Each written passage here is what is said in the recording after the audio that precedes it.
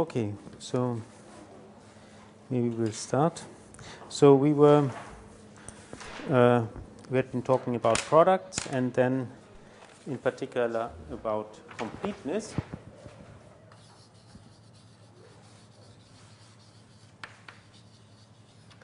Which, as I said, was supposed to replace uh, compactness for varieties. So uh, so the, the definition was that uh, a variety X is complete.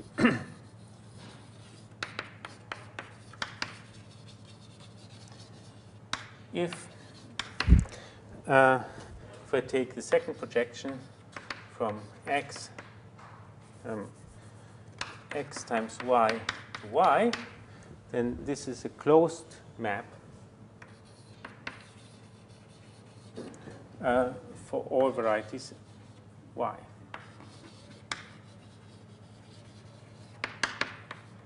So that means that the image of any closed subset in the product with any y, if I project it down to y, will be closed in y.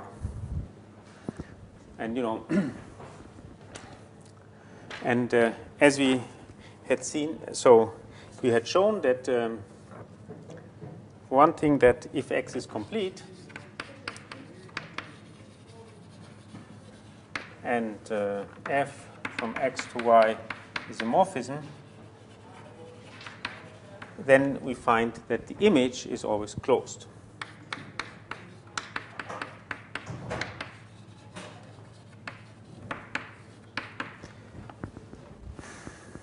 So um, this is also a property that you have for compactness. No, if you have a compact space which has a map to a Hausdorff space, then the image is always closed because it is compact. So now we want to give some. So and we had finally the big theorem was that uh, any projective variety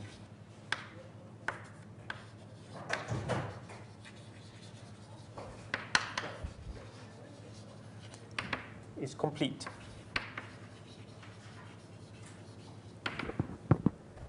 So this was um, a somewhat more tricky theorem that we proved. Essentially, one had to see it, show it only in the case of Pn, and then uh, it was finally reduced to some kind of linear algebra statement by using the uh, projective Nullstellensatz. Okay, so now we come to some corollaries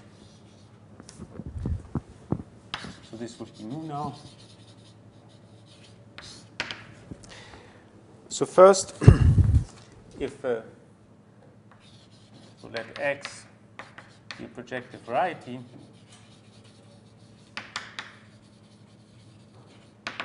uh, then if I take the functions which are regular on the whole thing, then these are just the constants.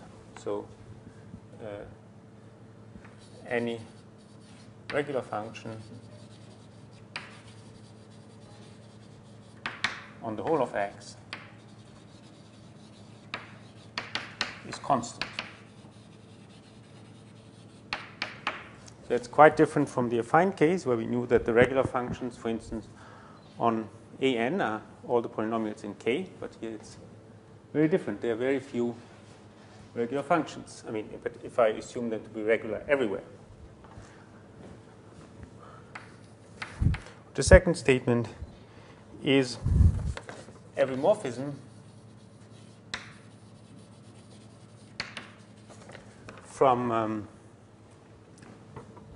so say phi from x to y from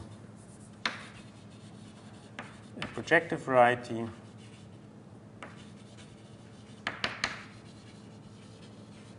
to an affine variety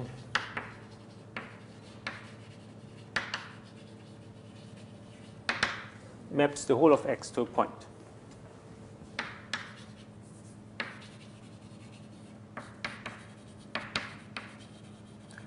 So that means there are essentially no morphisms from projective varieties to affine varieties. If I have a morphism from a projective variety to a affine variety, the only possibility is that everything is just mapped to one point.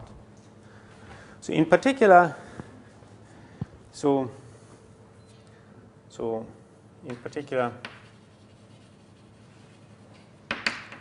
if x is affine and um, projective, so affine means that it's isomorphic to a closed subvariety of affine space, and it's also projective, then it follows x is a point. So they are, you know, affine and projective varieties are really something very different. Okay. So this is uh, quite simple. So and in fact, uh, it all follows from the first. So assume we have a regular function, so let f be regular on the whole of x, where x is a projective variety. So that means that f a function can be viewed as a morphism to a1. This is the same thing. So f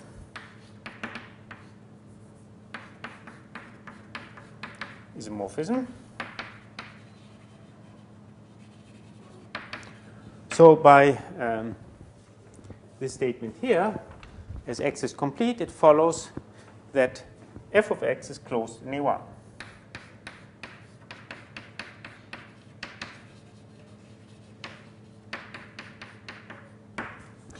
But um, uh, so what are the closed subsets of A1? So they are finite sets of points, A1 or the empty set. And f of x is irreducible because it's the image of something irreducible. So it follows that f of x is a point or f of x is equal to a1. Now we have to exclude that it can be a1, but that's simple. So via the embedding, um, of a1 into P1, say A1 identified with U0 or something, we, we get that F gives a morphism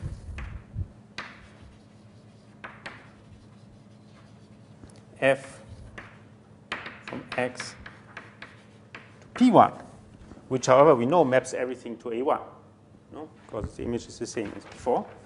So uh, the image is still closed, so f of x is also closed in P1. But obviously A1 is not closed in P1. Closure of A1 is P1. So it follows that f of x is a point.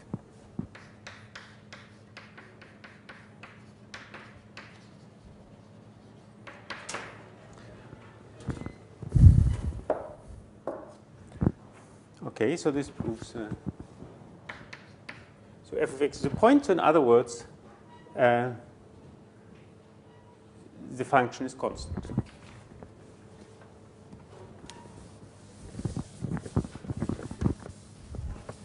So uh, the second statement is kind of clear. So if uh, so, y is isomorphic to a closed subvariety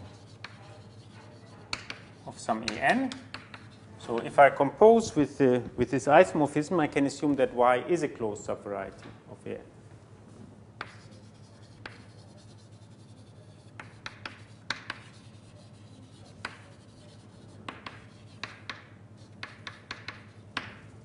Well, then we know that a morphism from anything to something in an is given by an n tuple of regular functions. So thus, phi uh, can be written as f1 to fn, where the fi are functions which are regular on the whole of x. But we know then they are constant.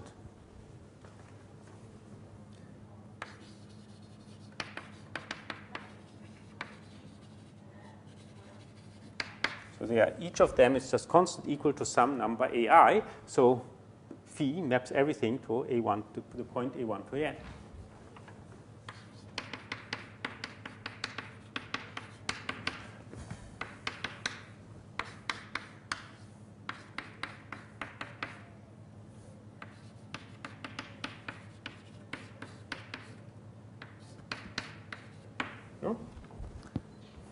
So that's uh, also very simple, and the rest is clear. If X is affine and projective, then the identity would be a map uh, to which this applies.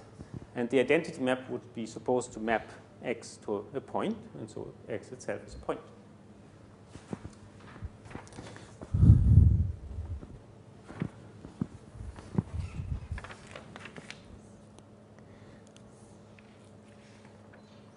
So, as I said uh, the other time, the fact that the image of a morphism starting from a projective variety is always closed, so a subvariety of uh, uh, whatever you map to, uh, gives us a, a, new way to construct varieties. So if I have any variety and the morphism from that to some projective space. So any projective variety and morphism from that to some projective space, then the image will also be a projective variety.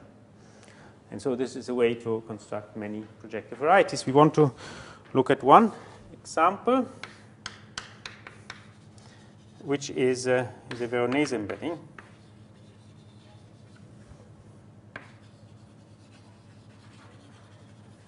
Again, uh, after some Italian mathematician Veronese. And that's rather simple. It's somewhat similar to the Segre embedding in some way. So we fix two numbers. Why? No, we fix just one number. So we fix a number, um, say,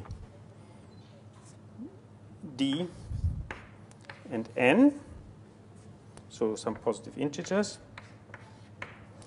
And we put um, n to be uh, the number n plus d, choose d minus 1.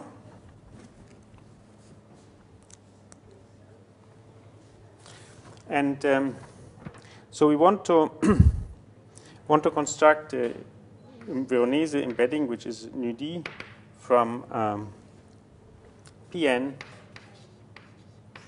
to Pn. Um, the Veronese embedding of degree d.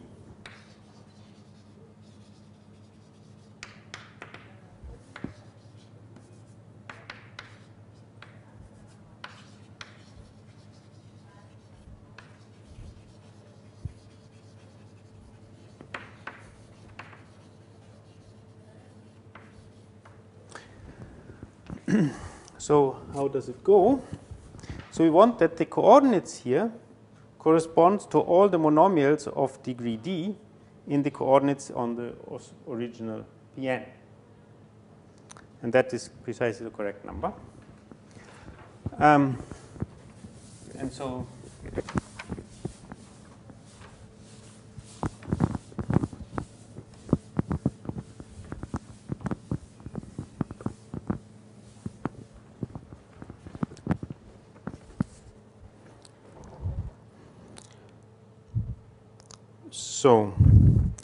let mi from say x0 to of x0 to xn for uh, 0 small equal to i small equal to n be all the monomials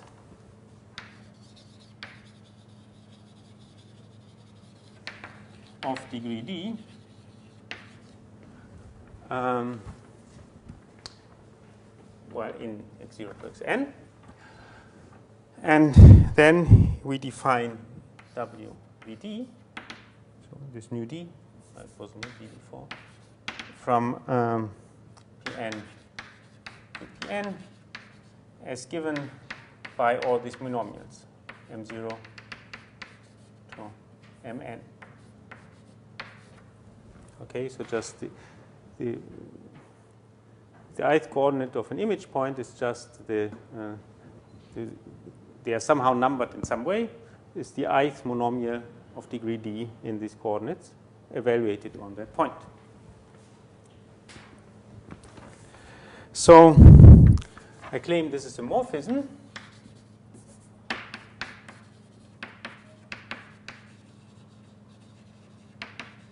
So to be to define a morphism, these should be all homogeneous polynomials of the same degree that they obviously are. They are polynomials of degree d. And they should have no common zeros on Pn. So that's the only other condition. So uh,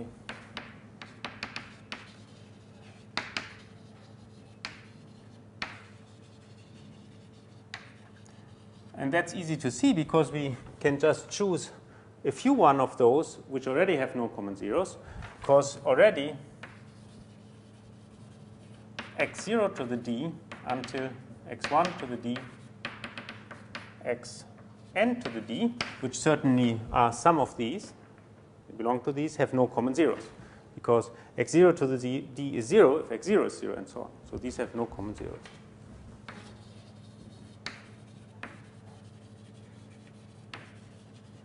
So this is uh, defines as a well-defined morphism.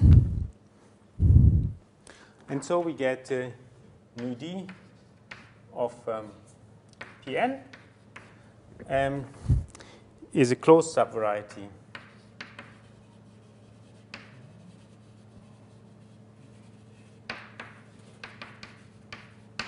of P large. So in this case, actually, one can show that this map is an isomorphism onto the image. Maybe I will not claim. So d as a morphism from the n to its image is an isomorphism.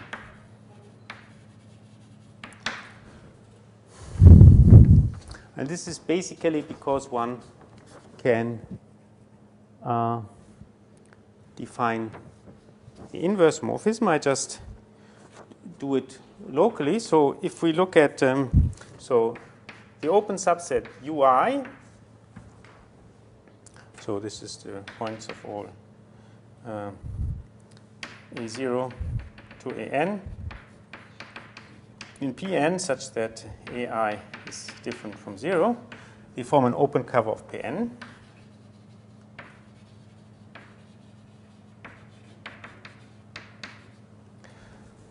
So maybe I will, no, the other n.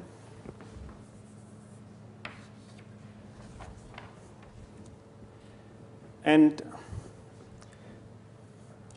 so maybe I give a name to the coordinates on P large n. So say for any monomial,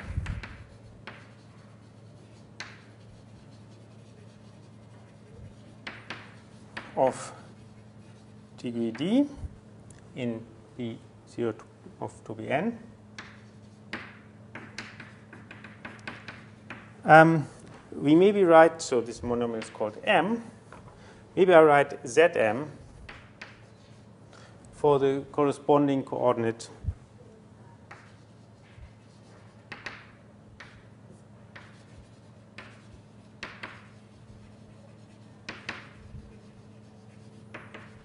on P large n. Now you see that according to this, the um, coordinates on the large Pn correspond in 1 1 correspondence with the monomials of degree d in x0 to xn. And I just, as a notation, I index them by the monomials. Okay? It's just the way, you know, I, the only thing that I know is that there are large n such coordinates. I can call them whatever I want. I call them Zm, where m is the monomial. Okay? So then I can form, say, ui tilde, um, which is the set of all points, which is the, which is Pn minus the zero set of Z xi to the d. So, uh, what is it? Yeah, that's a bit, so there are two different z's. Huh? So there's a large z and a small z. So this is the set where the coordinate corresponding to xi to, the d is non-zero. So this is obviously an open subset.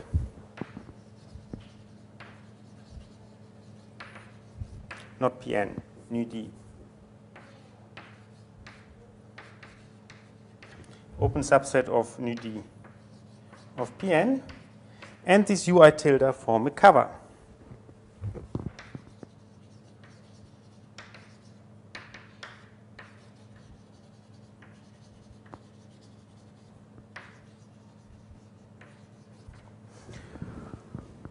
of um, nu d of Pn. Because uh, we have kind of used this already here, we know that uh, on Pn, at least one of the coordinates is non-zero. And uh, if these, you know, if we are in the image, then at least of one of the xi to the d is non-zero. No? Because uh, what we started with one of the coordinates was not zero, the corresponding coordinate xi to the d on the p large n will be non-zero. So these form an open cover. And we see, so and um,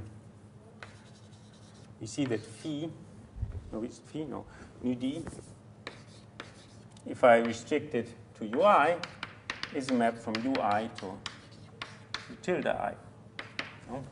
If the ith coordinate here was non-zero, then the coordinate with xi to the d will be non-zero there. And so we just want to give always the inverse of this map. So, and uh, this nu d, so give inverse of nu d restricted to ui. And this is very simple. This is just, so it's given by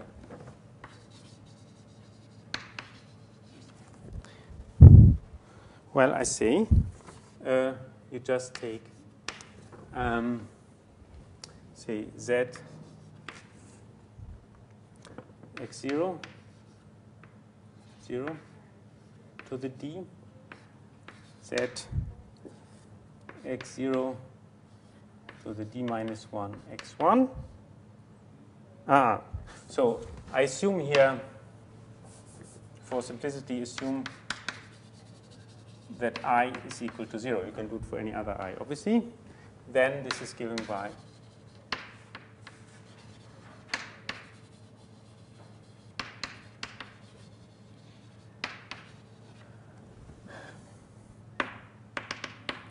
z x0 to the d minus 1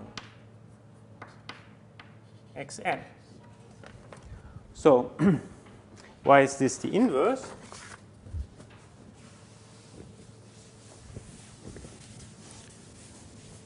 So if we take the, uh, if we start from ui, we map uh, x0 to xn to x0 to the d, uh, I mean to to you know to to all these things, and then if we go back, we just have to um,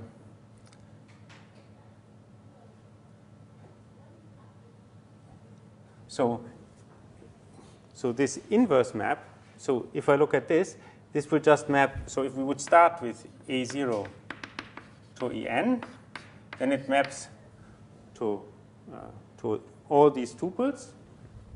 And then, so the Cm of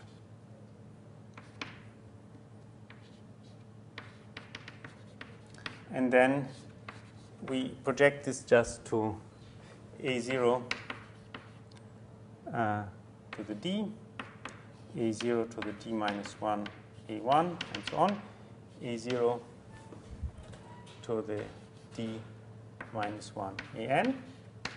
But this is the same. as A0. So to AN. No? Because we just have to divide by A0 to the D minus 1.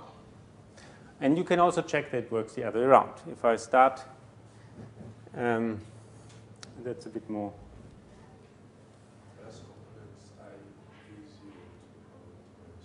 What? Yeah, yeah, that's, that's the misprint. Thank you.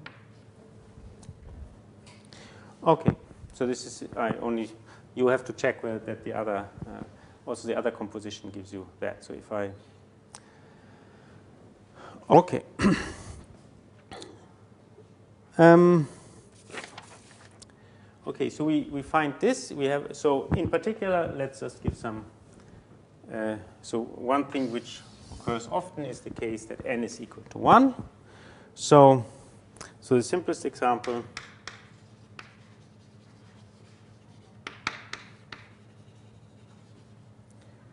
is uh, so the map nu d from P1 to PD.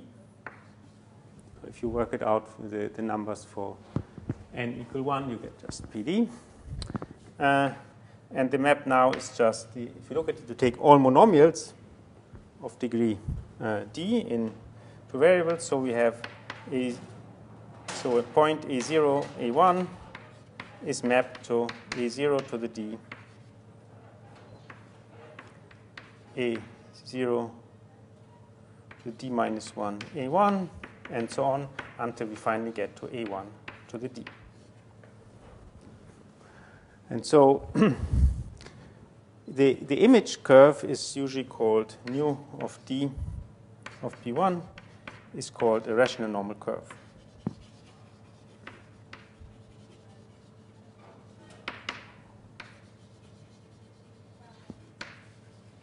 So this is just a curve which is isomorphic to P1, but somehow it lies in PD. And um, this is considered because it often gives a counterexample to some things one might think to be true. And uh, another uh, case is if you take nu 2 from P2 to P5, um, then uh, the image is called the Veronese surface.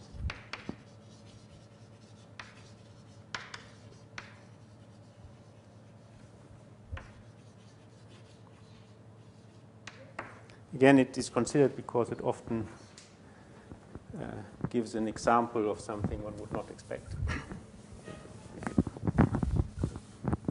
Okay, so this is uh, this example, there's one kind of application. So we have seen here that the, in some sense the, the coordinates on this large Pn correspond to monomials of degree d in, um, in the coordinates on the original Pn. And this will lead to the fact that um, if you look at the intersection of p small n with a hypersurface of degree d in the image, in the Veronese, uh, in the image under the Veronese map, this will correspond to the intersection with a hyperplane. And that somehow simplifies things sometimes. So let me write this down. So let f equal to sum ai mi, so mi again our monomials, i equals 0 to n, n, a homogeneous polynomial of degree d in x0 to xn. Okay. So now let x subset Pn be a closed subvariety.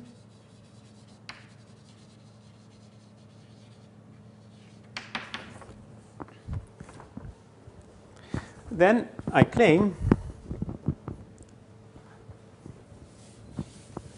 means kind of obvious, but I read. So if I look at nu d, so the image under the Veronese map of x intersected the zero set of f,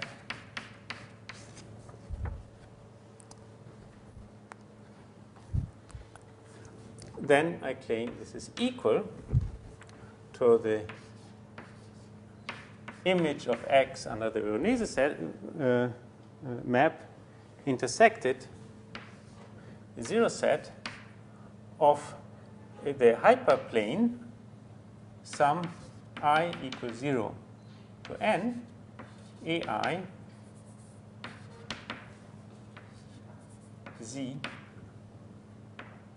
mi. Now, if you think of it, this is completely obvious. No, because the, the image of, uh, so it's just, the map is just given by sending by all the monomials of degree d.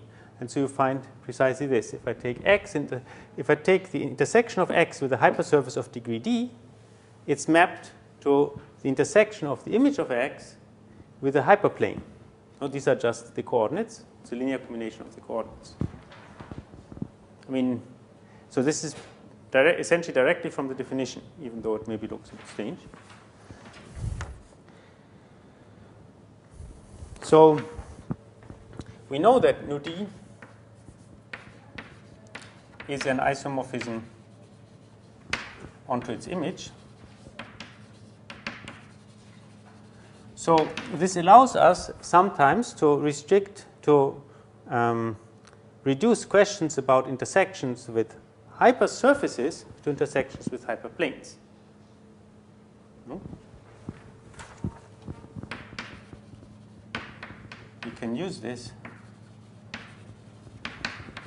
to reduce questions of uh, about intersections with hypersurfaces to intersections with hyperplanes.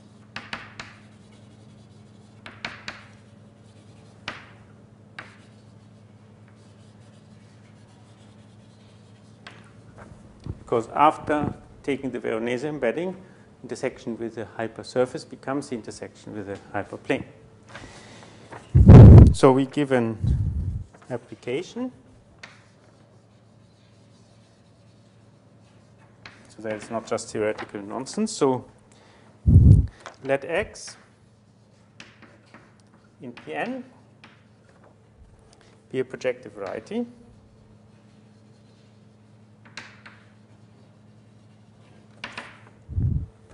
So let f be a non-constant homogeneous polynomial of degree, so homogeneous polynomial of degree d.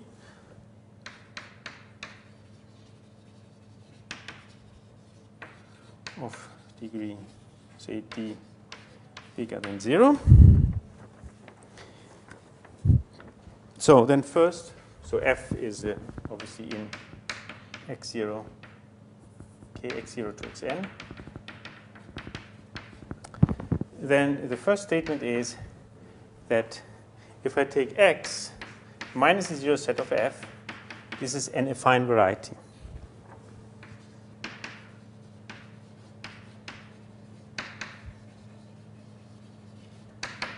Okay. And uh, second statement, which actually follows, if x is not a point,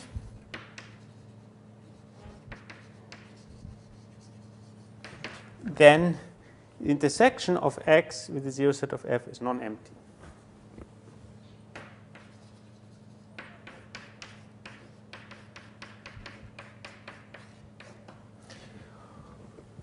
So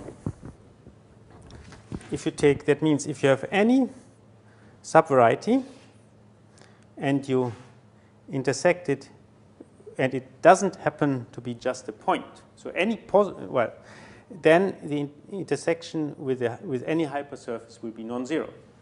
So it's kind of a very strong uh, strengthening of the fact that in projective space any two lines meet.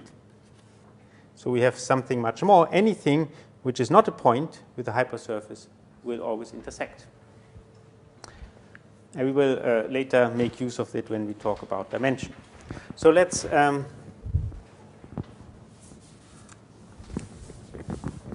try to let's prove this. This is a relatively straightforward application of the above. So first, so if f is a hyperplane, so the degree is 1,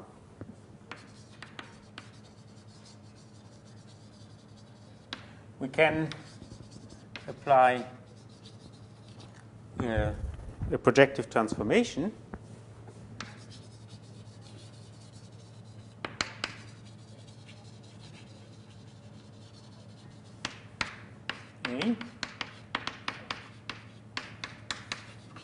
Uh, so such that the image under of f under the projective transformation is just the hyperplane at infinity.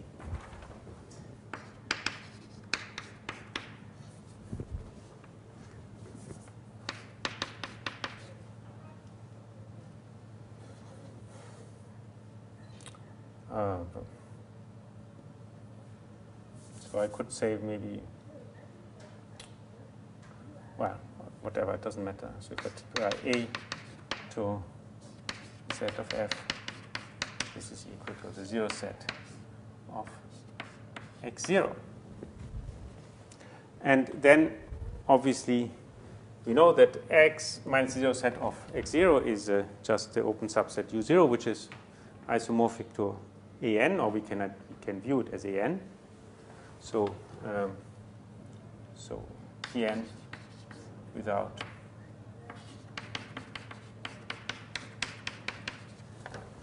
and um, x intersected x without the zero set of x0 is equal to x intersected an, which is certainly affine. And um, this projected transformation is an isomorphism of Pn to itself. So uh, it follows that it's also true uh, before that. Okay. So we can, so by the project transformation, we reduce to the case that the hyperplane was just the hyperplane at infinity, and then it's obvious. So th this is the, and now if it's not a hyperplane, we apply the Veronese map. Um, if f has degree d,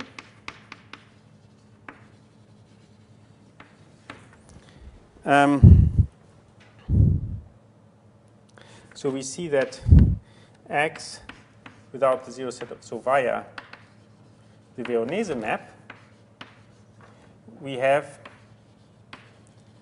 that uh, x without the zero set of f is isomorphic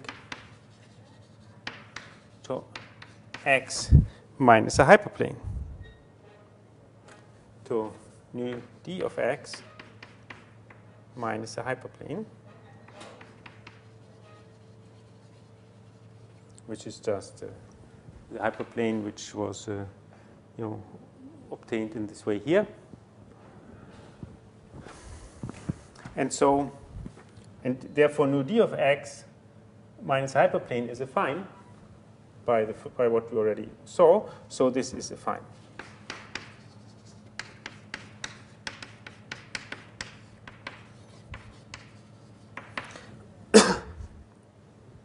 So for the second statement is just an application of the first. So assume it's not the case. So if um, x intersected the zero set of f is empty,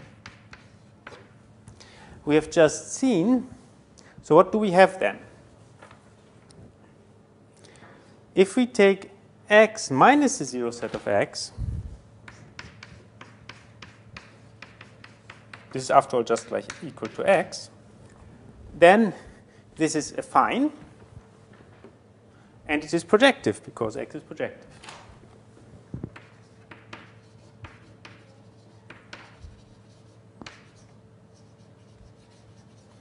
Thus it is a point.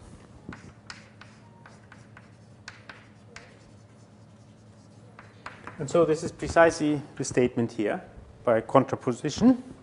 Now, if we say that if the conclusion is false, then the assumption is false is the same as, as saying that the statement is correct. Okay, so this uh, proves this. Okay, so this is uh, everything I wanted to say for the moment about completeness. So what we for the moment say about the product. And now we come to one uh, more topic about, in some sense, morphisms, which is rational maps. So this, we want to do this relatively fast, uh, maybe a bit more than one lecture. But I mean, now half the lecture is over, so we're not expecting to finish today. Uh, so rational maps.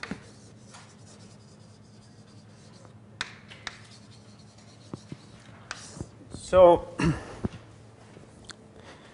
I mean, we have these morphisms.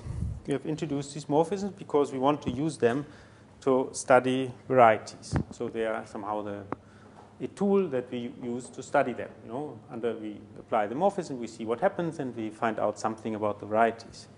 So the problem that we, in some sense, have with this is that there are not very many morphisms. So, for instance, I mean, for instance, we have this. We have just proven that you know, from a projective to an affine variety, there's basically no morphism at all. It maps everything to a point. But in, in general, it's difficult to construct morphisms. You know, you, you have this condition, you have, if you have a projective variety, you want to map to another projective variety, you have to find so and so many polynomials, homogeneous of the same degree with no common zero, and whatever. And you know, that's just not easy to find. And so we want to try to make do with something which is not as good as a morphism, but it's easier to construct. Okay? And this is a rational map. And that's something quite simple. It's kind of almost a morphism. Namely, it is a morphism which is not defined everywhere. So there's just an open subset of the source where it is defined, a non-empty open subset. Okay? And uh, so, and then the morphisms we had before is just a special case where this open subset happens to be the whole of the variety. And uh, it actually, we will not really come to that, but if um, one is doing more advanced, you know, later, the way how one actually usually construct morphisms is to construct them as rational maps and then prove that they're defined everywhere. So it's uh, somehow, uh, it is actually the way how one does it. So what will be the difference between these rational maps and the rational function Well, so, you know, so if a function for us is always a map or a morphism to k, to the ground field. And we will prove that a rational map to the ground field is the same as a rational function. Okay? But you know, I always call function, you know, it's maybe my personal viewpoint, but uh, for me, and also in the usual language in algebraic geometry, a function is always thought as a map to the ground field. And a map is always to another variety, and um, or a morphism. But so it means that rational functions are a special case of rational maps. But you know that we'll have to see. And they are actually quite. We will find out that they are quite closely connected to rational rational maps, and rational functions are closely connected. So lemma. So first, before starting, we need. Uh, I want to so that everything is reasonably well defined, we prove a small lemma, which in principle you have already done, but I want to repeat it. So if phi and psi are two morphisms from x to y,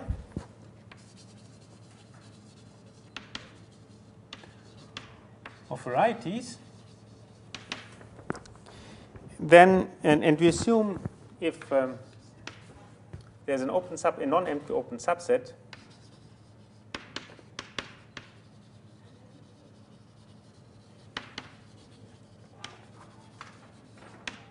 u in X such that phi restricted to u is equal to psi restricted to u, then it follows that phi is equal to psi. And if you remember, we have in some sense already proven this. We have, namely, we have proven that if we have two morphisms from x to y, then the set of points in x where phi of p is equal to psi of p is a closed subset of x. And now we are looking here at this closed subset and have the condition that it contains a non-empty open subset. Now we know that any non-empty open subset in a variety is dense, so it follows that the closure of it is the whole of X, and that proves this. Okay, so this we already have proven it, but it's uh, anyway. So now we want to define a rational map. And it's slightly more complicated than what I made you believe. Um, so a rational map. So maybe I can basically say what the idea is. So I said a rational map is a, a morphism which is defined on an open subset of the target. But we don't want to care about which precisely what open subset that is. So therefore, a rational map will be an equivalence class. So where we call two such things equivalent, you know, so where a, a rational map, so a, a representative will be an open subset plus a morphism from that open subset, and we call two of them equivalent if on the intersection of the open subsets they are the same map. Okay, but this is just it basically just says it's an, morphism on open subset, and we don't care about which open subset. So a rational map f from x, and it's usually done with a broken arrow, is an equivalence class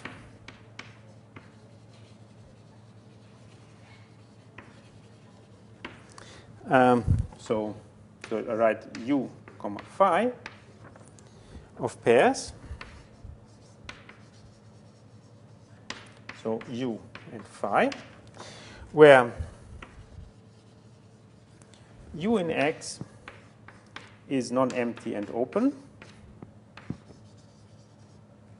There's an open subset in X, and phi from U to Y is a morphism.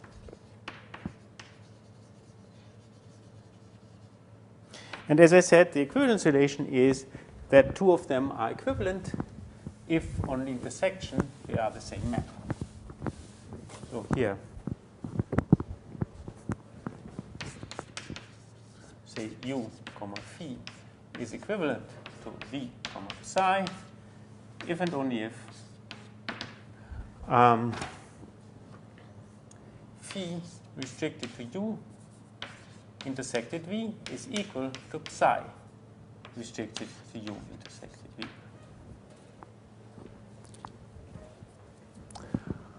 Okay, so obviously when I say I'm talking equi about equivalence class, one has to see that this is an equivalence relation. So exercise. This is an equivalence relation.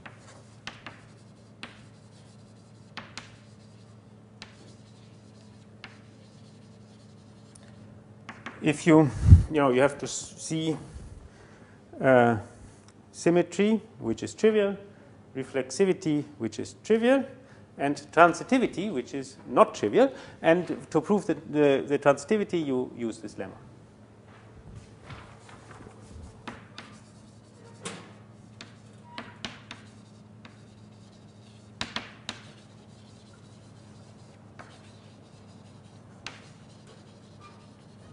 And then it, it's actually quite simple then.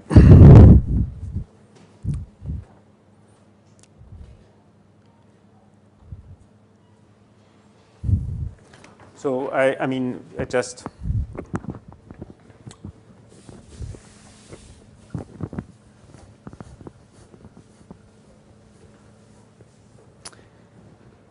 So we say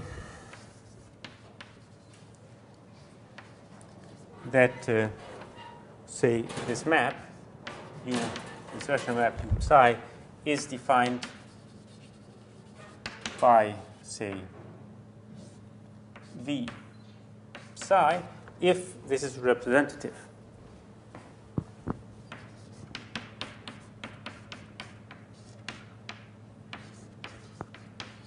So if it's one of the things equivalent to it.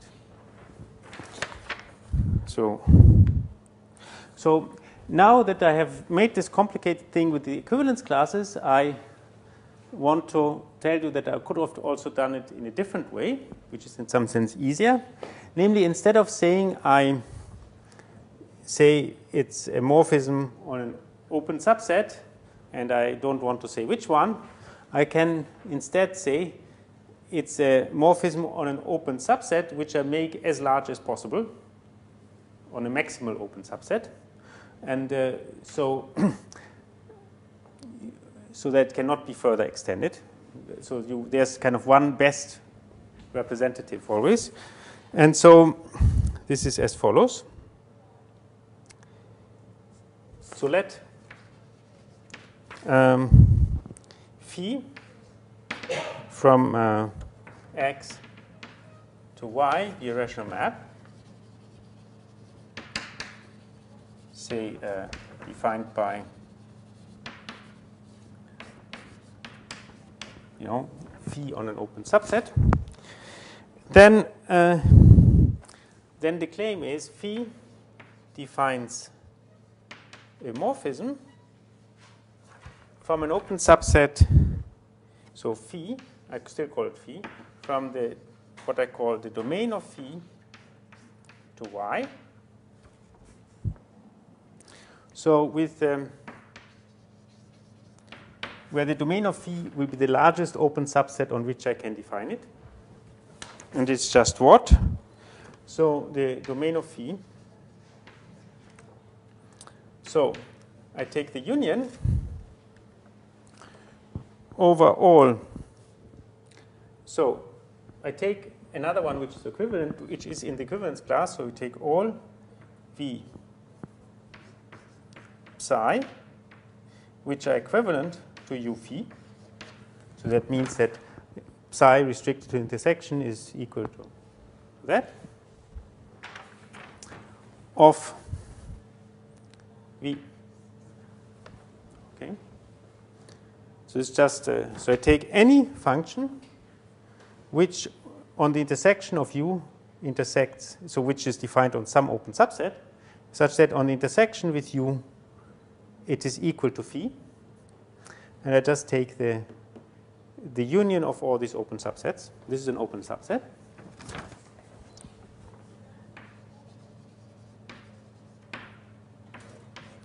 And how is this morphism defined? Well, just whenever I am in a V, I take the corresponding map. So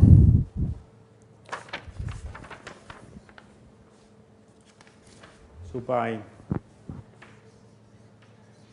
so so we define define phi of a point P to be equal to be, say, psi of p if uh, we have that v psi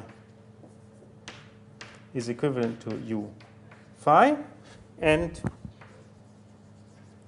uh, p is in v.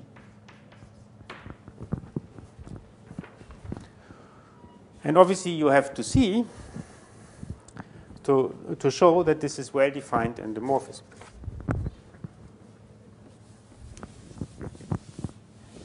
So, exercise.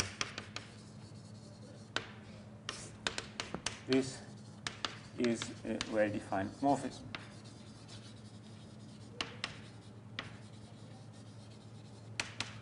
And it's kind of clear because, um, you know, to be a morphism, means there is a neighborhood of the, you know, that for every point where it's defined, it must be morphism in a neighborhood, but it's given by, by morphisms. And um, so we have to see it's well defined. But so if we have a point P which lies in two different such open subsets, then it means it lies in the intersection of, uh, of the, so on, it lies maybe in V1 and V2, and we have psi1 and psi2. So then it's a, point in this intersection of V1 of, and V2. And um, we know that psi1 and psi2 will be equal to each other on the intersection. No, that is, uh, will again follow from the transitivity of the equivalence relation. So it is well-defined morphism. So we can, instead of saying we it's an equivalence class, we can also always extend a rational map to the largest possible open subset. And if this largest possible open subset happens to be the whole of X, then psi is actually a morphism.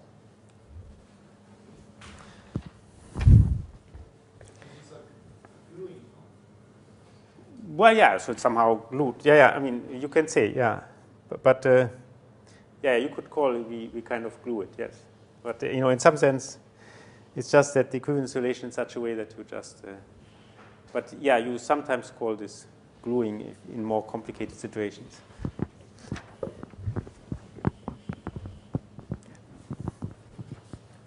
Okay, so let me see.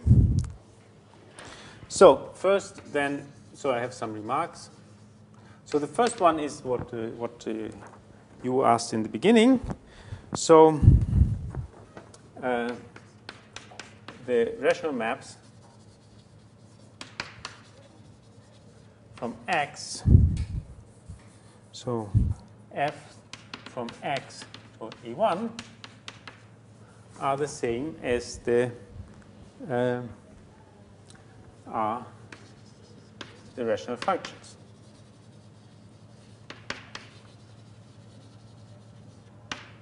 F in kx.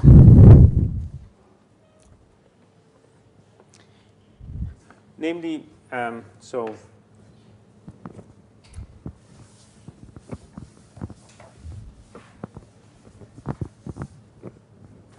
if f in OX U uh, for some open subset. So if f is an element in Kx, then it follows that f is regular on some open subset. Namely, you can always write it as a quotient of, of two uh, uh, elements, say, in the coordinate ring, and then the, uh, if where the denominator is non-zero, it is regular. Um, and so, thus f is a map a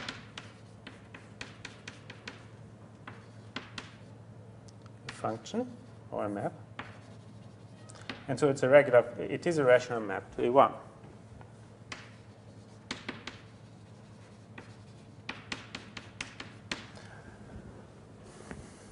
And you also find that the equivalence relation you have on both sides are the same. You know, we had seen that if two rational functions coincide on some open subset, then they are equal. So it's somehow the same story.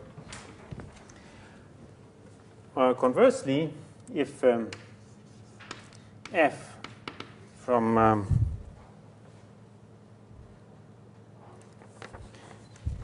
if uh, say if say uf uh, from um, x to a1 is a rational function, a rational map,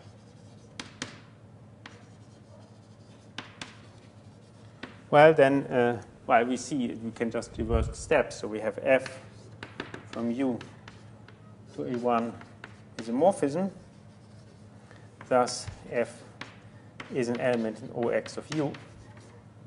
And so f is also an element in kx.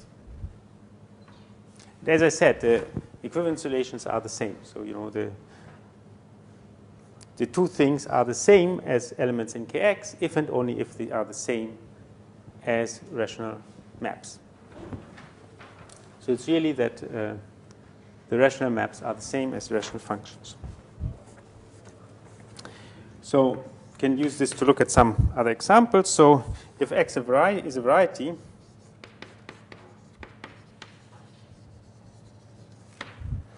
and um, we take any elements f1 to fn in kx,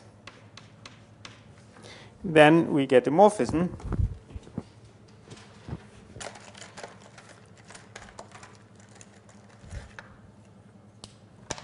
then uh, say f1 to fn from x to pn, so maybe uh, an, is a morphism, is a rational map.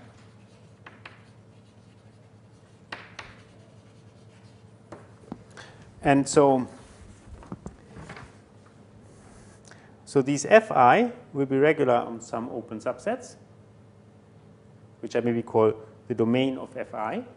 So this is the set of all points where you can write fi as a quotient of two regular functions so that the denominator is non-zero.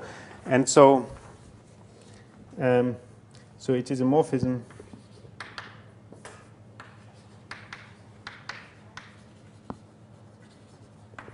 So from the intersection i equals 1 to n, the domain of the fi, which is some open subset of x, to an. No?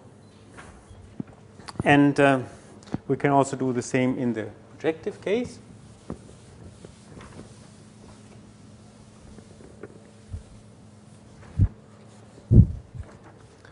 So let x in the n be quasi-projective variety.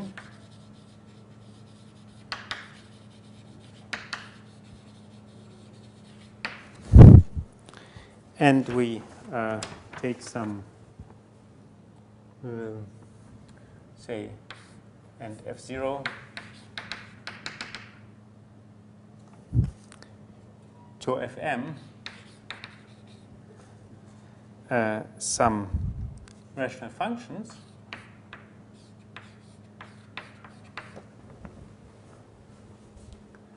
Um, then say I write f0 to fm from um,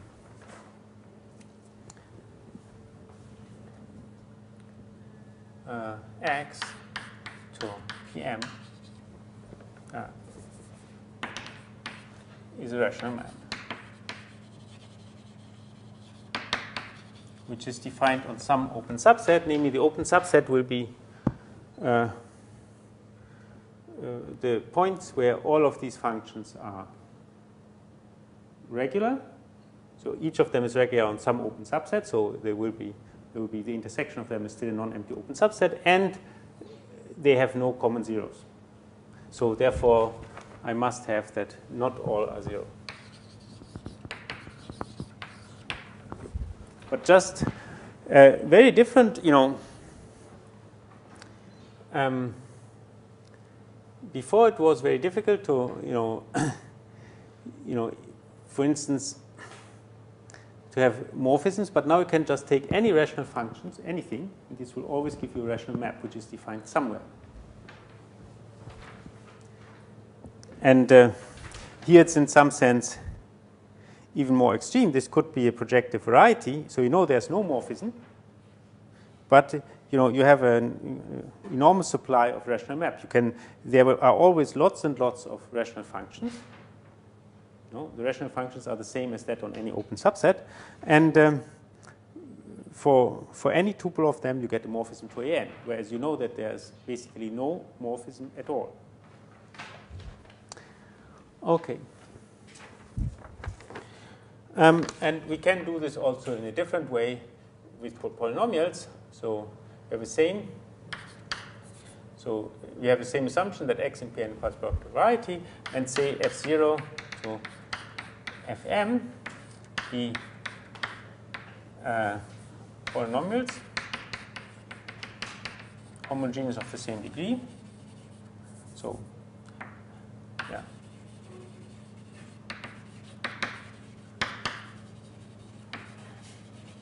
And they are not all in the ideal of X.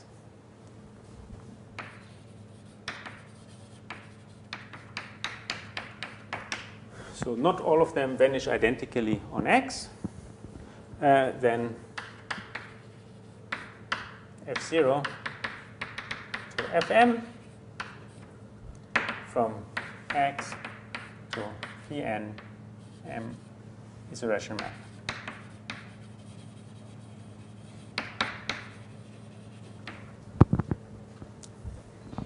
So we don't have to worry whether these things have common zeros. As long as they are not all identically zero on X, we always get a rational map.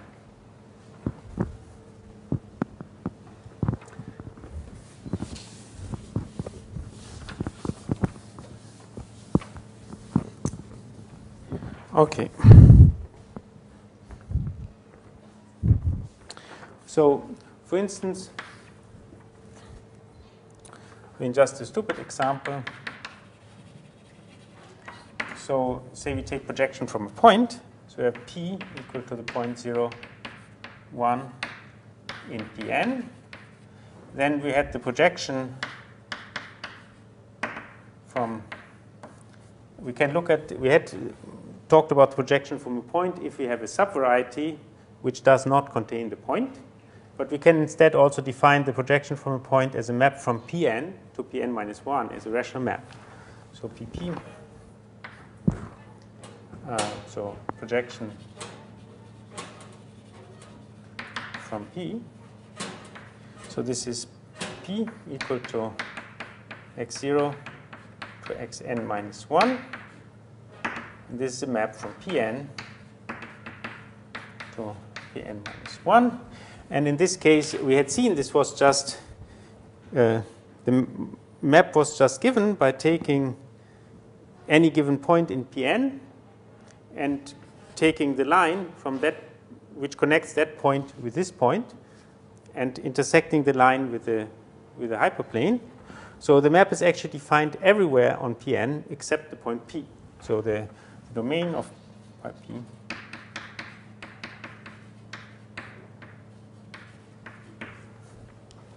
okay.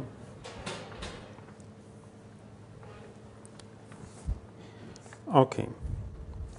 So now we have these rational maps, but you know, usually, you know, if you have maps, you want to compose them. And now the problem with these rational maps is that they cannot always be composed. And that's kind of obvious because you know, a rational map is not defined everywhere. So if you have two, two maps, and the first map maps everything to the locus where the second map is not defined, then you, know, you don't have a composition. So you want to avoid this, and you avoid this by only considering uh, maps where the image is dense in the target. So then this problem cannot happen. Okay?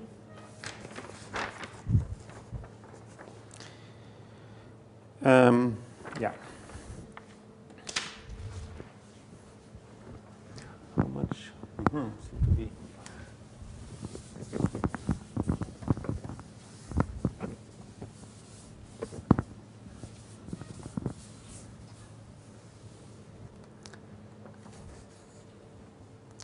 So definition.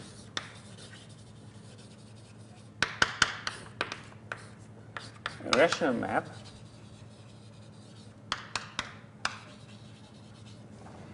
uh, so phi from x to y is dominant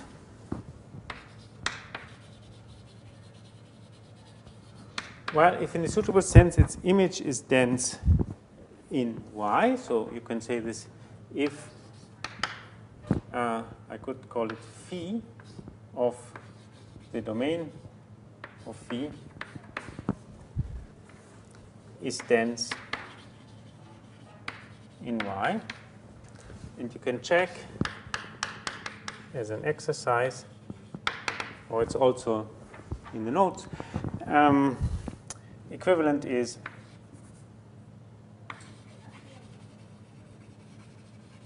so if um, say u phi is a representative so u is any open subset on which phi is defined any non-empty open subset uh, then this is equivalent to the fact that the image of the domain is uh, dense is equivalent to the statement that the image of U is. Uh, this is equivalent to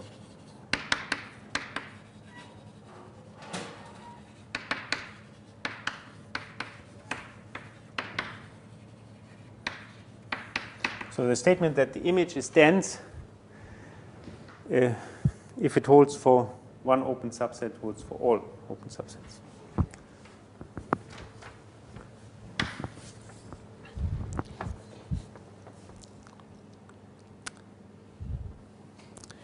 So now I want to define the composition. So let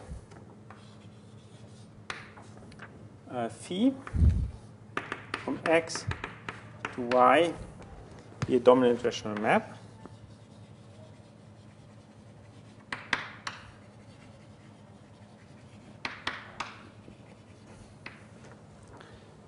So, and um, so assume that it is defined on U. So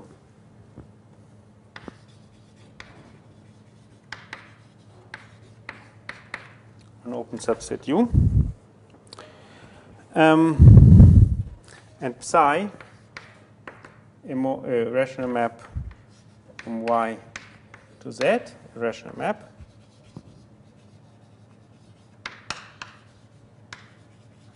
Then we can define the composition.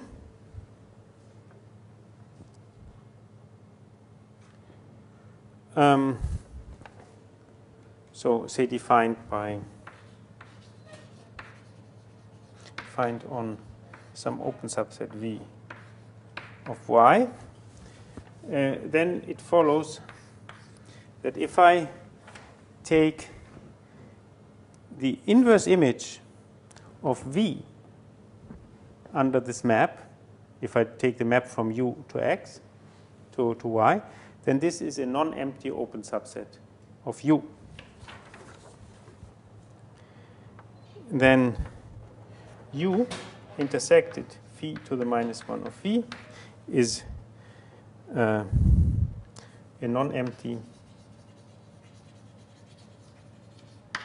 open subset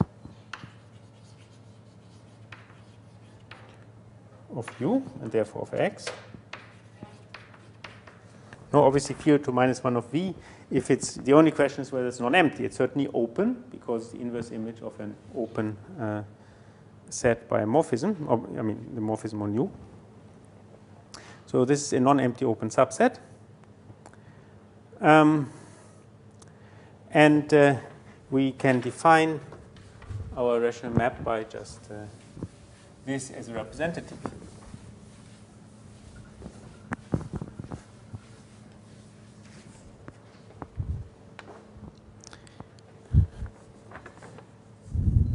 So if I take pair U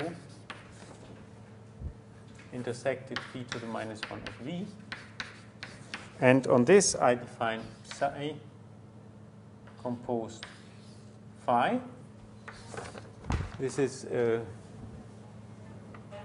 from x to z is the composition.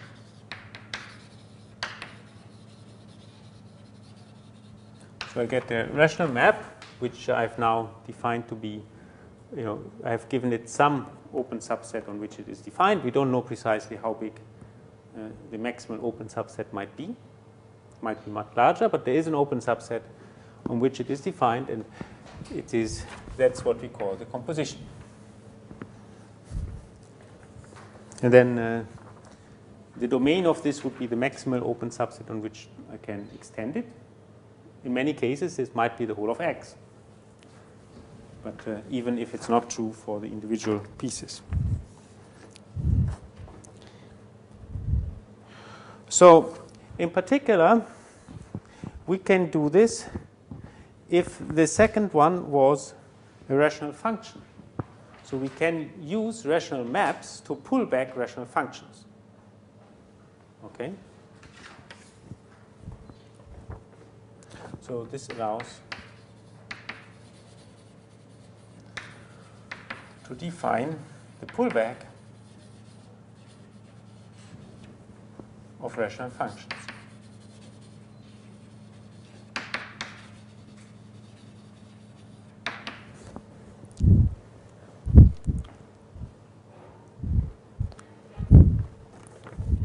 So let f in ky be a rational function.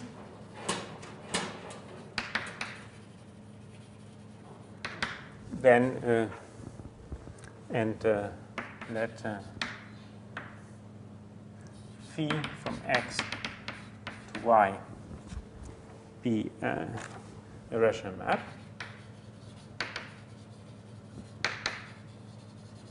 So then we have again the pullback. So we have uh, phi star. Um, so this here I would call psi composed with phi. No? Psi star of f is defined uh, to be phi f composed with phi, which is a rational function.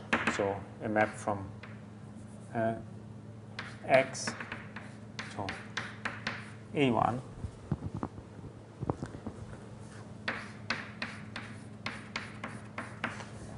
Okay, so one would do the same thing. One finds uh, some open subset on which uh, phi is defined. One takes the uh, inverse image of that open subset and intersects it with a set on which uh, f is defined, and then you know, from this to that gives a rational function. Okay, so we have this pullback. and um,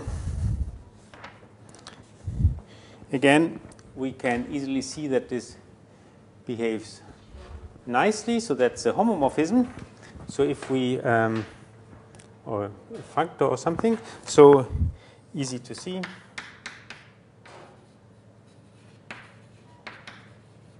If we take phi star from ky to kx, so phi, so I should say that it's not a rational map, it's a dominant rational map. No? So for dominant rational maps, we can define the pullback. So phi star is a homomorphism.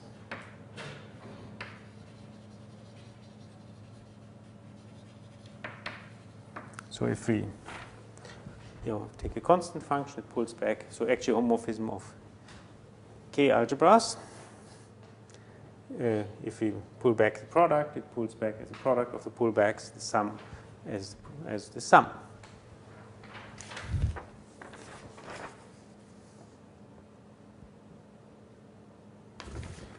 Okay, so I'm a bit faster than I thought. So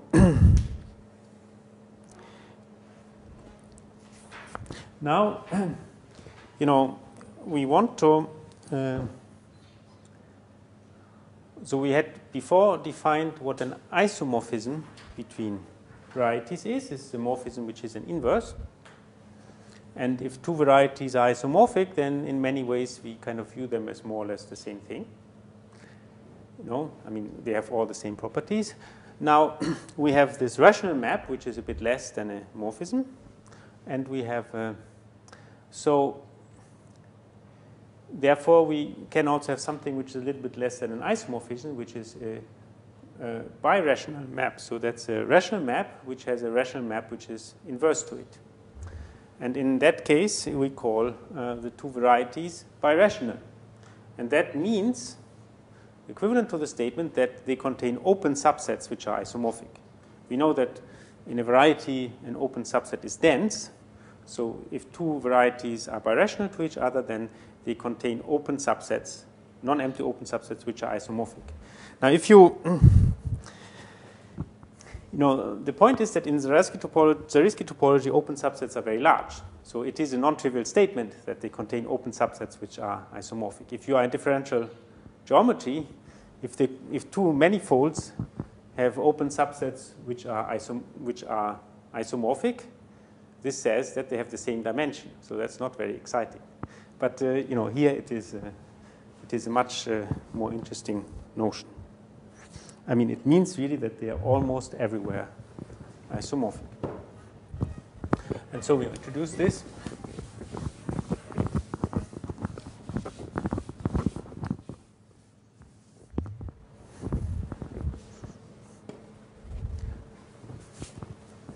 So definition.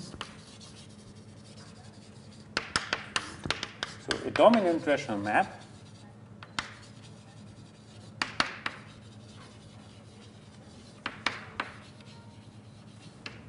uh, say phi from x to y is called a birational map. So it's again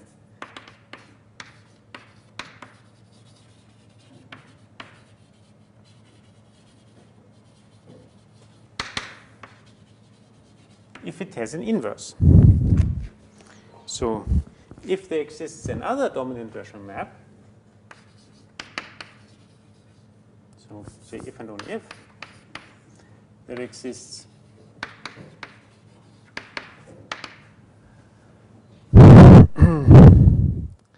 another dominant rational map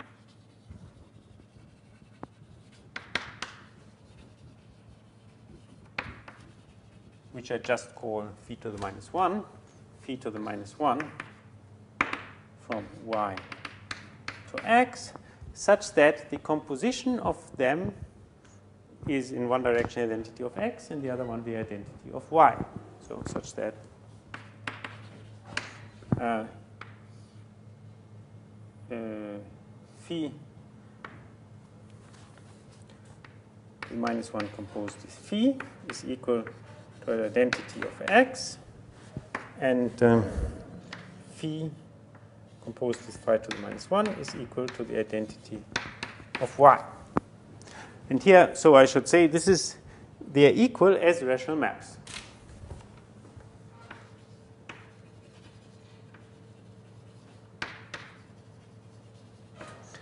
So what this means is that wherever this is defined, you know, this is so when when I, when phi is defined and maps into uh, where phi to the minus one is defined, um, the composition will be the identity. But that means that if I extend this composition to its maximal domain, it will be the identity on X defined everywhere. Okay, and the same here. So it, it is not necessary that phi is defined everywhere or that phi to the minus 1 is defined everywhere. But the composition is automatically defined everywhere if it's the identity. Okay. So x and y are called birational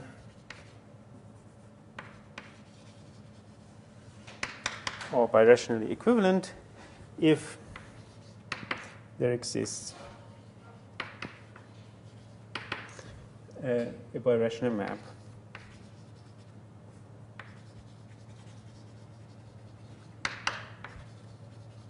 phi from x to y.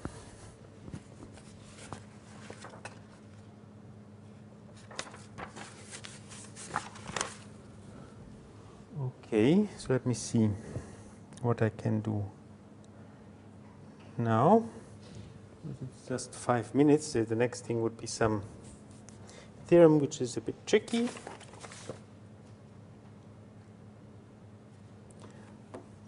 So one special case, which uh, so in particular, a variety will be called rational if it's birational to an for some n, or the same birational to pn.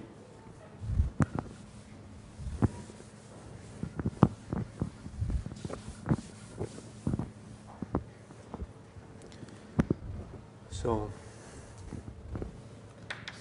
a variety is called rational if it is birational. So, an for some n And uh, so you can see that uh, example, we have that, uh, well, obviously an is rational and pn is rational. No, because we have just uh, the embedding of an to pn is a birational map. Um, if I take, uh, um, say, the cuspidal cubic, um, so C, which is the zero set of y squared minus x to the 3 subset A2, this is rational.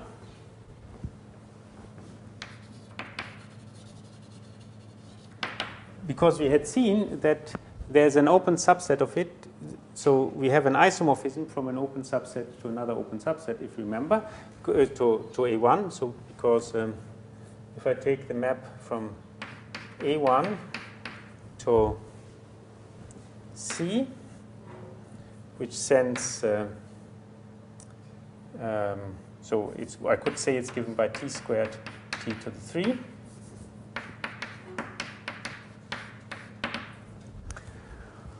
So this is a morphism. And the a, a bijective morphism actually. And the inverse is a morphism on C without the point 0, 0. So we see that we have an inverse rational map no, that we had seen before. And finally, if we have Pn times Pm, this is also rational.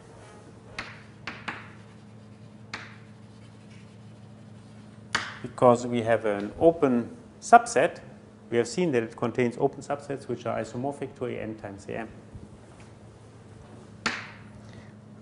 No, contains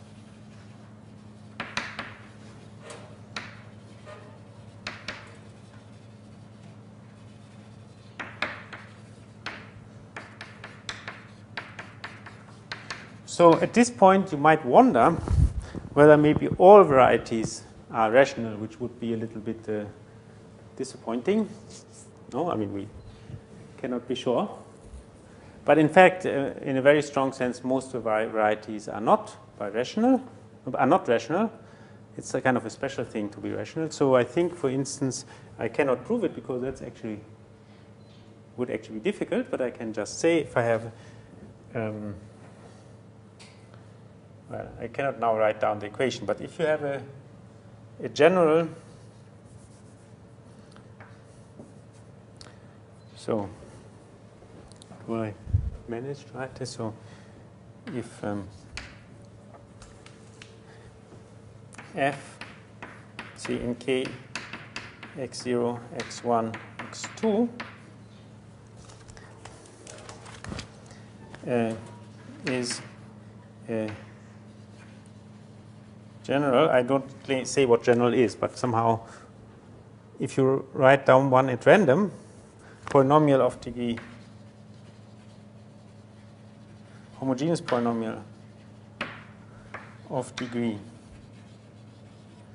d bigger equal to 3, uh, then the zero set of f is not rational. I haven't told you what general means. It means, uh, for instance, non-singular. We have to see. So if we take the um,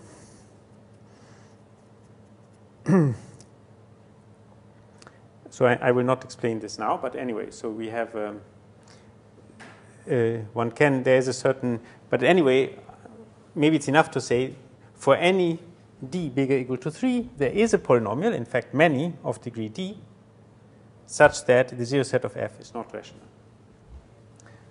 And actually, much more uh, is true.